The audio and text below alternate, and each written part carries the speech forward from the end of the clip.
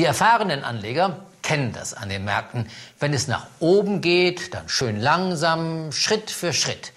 Geht es aber nach unten, dann mit Karacho und einem bleibt vor Schreck der Atem weg. Das gilt für Aktien wie für Märkte. Kann man sich also mit einer klügeren Mischung von Aktien und Märkten davor schützen. Herzlich willkommen zu ETF Kompakt, meine Damen und Herren. Ja, man kann sich zumindest zum Teil ruhiger aufstellen. Und genau dazu gibt es jetzt eine neue ETF-Familie von iShares. Wie die aussieht, was man damit erreichen kann, erfahren wir jetzt von Sven Württemberger. Er ist bei iShares für den Bereich Wealth Sales Germany zuständig. Herr Württemberger, wie erreicht man, dass ein Aktien-ETF generell weniger schwankt? Man muss also den Index offenbar irgendwie anders zusammensetzen als einen Standardindex, der ja meistens nach Marktkapitalisierung gewichtet wird. Absolut. Sie sprechen es an. Marktkapitalisierung ist das Stichwort. Die meisten ETF-Produkte, äh, die am Markt zugänglich sind, sind marktkapitalisierungsgewichtet, also ein starres Indexkonzept. Ähm, in den neuen Konzepten ist es ein mehr regelbasierter Ansatz. Das heißt, man verfolgt eine Optimierung des Ansatzes. Und in dieser Optimierung kann man dann auch einen Volatilitätsansatz fahren. Das heißt, man kann Unternehmen, die hoch volatil sind, aus diesem Index äh, nach einer Regel ausschließen. Und genau das tun wir in diesen neuen Indexkonzepten. Mhm.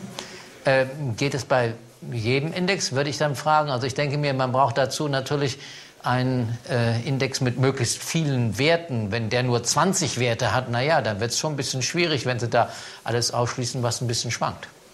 Das ist sicherlich auch ein guter Punkt. Äh, generell äh, macht es sicherlich Sinn, das bei breiten Indizes zu machen. Äh, wir haben das jetzt auf vier Familien aufgelegt. Das ist der S&P 500, ein sehr breiter Index, der MSCI World, über den wir jetzt ja auch gleich sprechen werden, aber auch ein europäischer Leitindex und ein Emerging Markets Index, der MSCI Emerging Market. Das sind alles sehr breite Indizes, die sich hier natürlich auch optimal optimieren lassen. Sie können es aber auch bei kleineren Indizes machen. es kommt natürlich darauf an, wie Sie die Modellierung vornehmen, beziehungsweise wie volatil die Unternehmen zueinander auch sind. Mhm. So, jetzt schauen wir uns das Beispiel an. Sie hatten es ja schon gesagt, da haben wir die Details erst einmal auf einer Tafel. Wir haben uns den MSCI World herausgesucht. Das ist so einer mit mehr als 1000 äh, Aktien, die da drin sind. Hier haben wir die Kenndaten.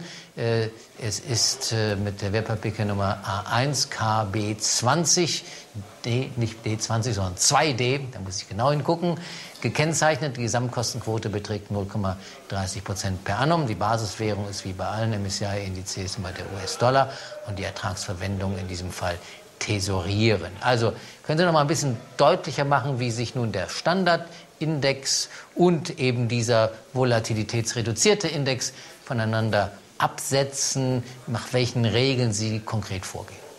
Ja, sehr gerne. Also generell der MSCI World ist einer der breitesten Indizes, auf die ETFs aufgelegt werden. Der hat insgesamt etwa 1610 Einzelwerte im Index. Äh, die optimierte Version, also die Minimum-Volatilitätsversion, die wir jetzt äh, auf den Markt gebracht haben, hat nur noch 220 Titel. Also ist schon mal allein von der Größenordnung wesentlich geringer. Ähm, die Auswahlkriterien, wie wir diese Unternehmen bestimmen, ähm, werden klar durch ein regelbasiertes Modell vorgegeben. Zum einen wollen wir natürlich, dass der Index, der Volatilitätsindex, nach wie vor auch ähnlich konstruiert ist wie der große breite Index. Das heißt, die Länder und Sektorengewichte Gewichtung sollte möglichst ähnlich sein, auch wenn wir weniger Werte abbilden. Wir wollen ja nicht von dem generellen Indexmodell zu arg abweichen. Das Einzige, was wir tun wollen, ist, wir wollen die äh, Volatilität, sprich die Schwankungsbreite des Produkts, äh, niedriger gestalten. Und das gelingt uns durch diesen optimierten Ansatz äh, sehr gut.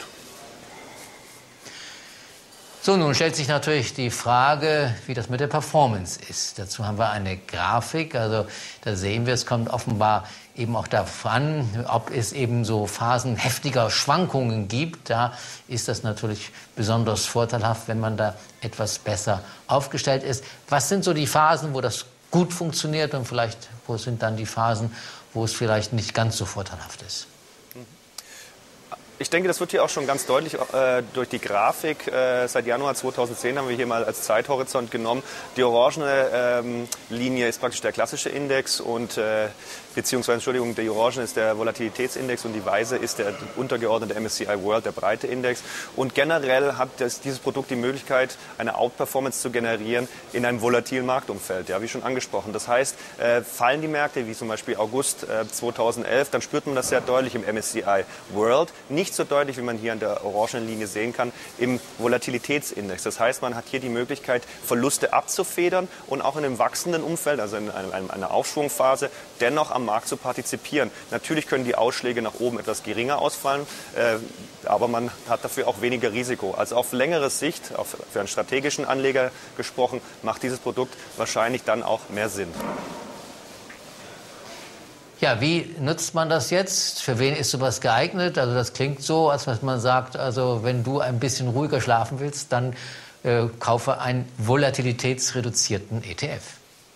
Ja, das ist ähm, ein Stück weit sicherlich äh, richtig so. Äh, das Produkt ähm, ist primär geeignet für Investoren, die wirklich auch langfristig investieren wollen, die keine taktischen Aufs und Abs mitmachen wollen, die das, ihr, ihr, ihr Vermögen, ihr Investment langfristig strukturieren wollen äh, und hier am Markt partizipieren wollen und diese Höhen mitnehmen wollen, aber die, die, die schwächeren Phasen auch ausgeglichen äh, ja, wahrnehmen möchten. Also wie gesagt, für Investoren, die strategisch investiert sein wollen.